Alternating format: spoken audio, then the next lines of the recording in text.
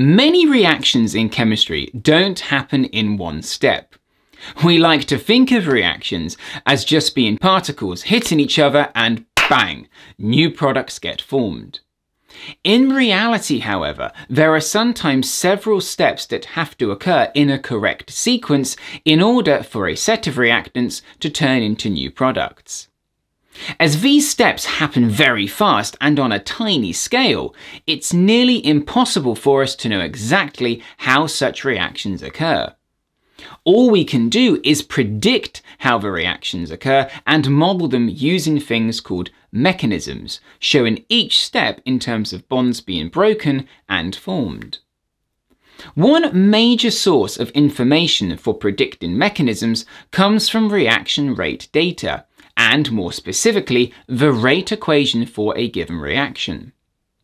Rate equations are based on experimental data, meaning they aren't based on predictions or theory.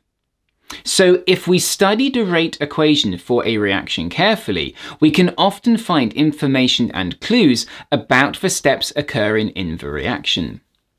The biggest clue we can obtain from such data is information about the slowest step that happens in a reaction.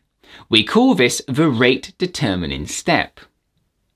The reason the slowest step occurring in a reaction is important is that it is the slowest step that determines the overall rate of a reaction.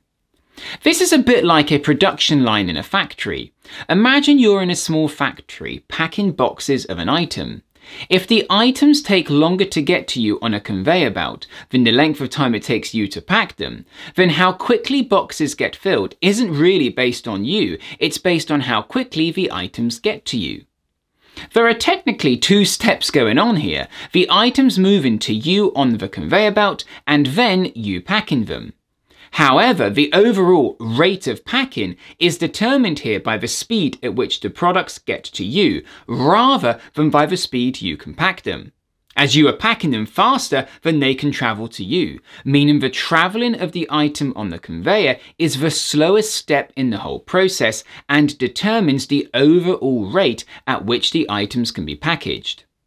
Just like in a multi-step reaction, it is the slowest step or stage occurring that will determine the reaction rate.